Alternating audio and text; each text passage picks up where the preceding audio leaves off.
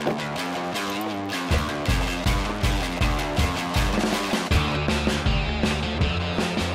right, we're here at Nation, a new gym that's been just established here in Calgary. And check it out, I mean, there are ninja courses, there's a military style course, there's a huge trampoline area. It's a 55,000 square foot facility, and I'm gonna bring out my inner kid today and try out some of these crazy obstacles and see how the kids do it too. The facility was inspired by the popularity of the American Ninja Warrior franchise. The owners traveled to more than 60 locations across North America before they settled on a design.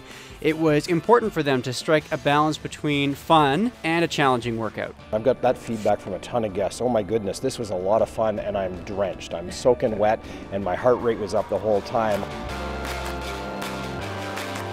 Uh, this is our Ninja Warrior course. Uh, you start here, the timer uh, starts, and you carry yourself through the obstacle course, down to the end, circle around, back through the sliding doors and the monkey bars, and then you make your way up to the 10, 12, or 14 foot warp wall and slam the timer at the top, and you're done.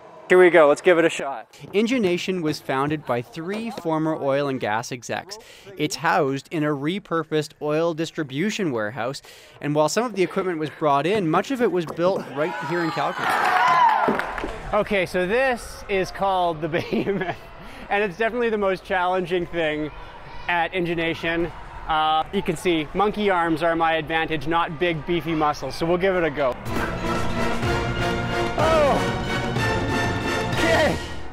Behemoth.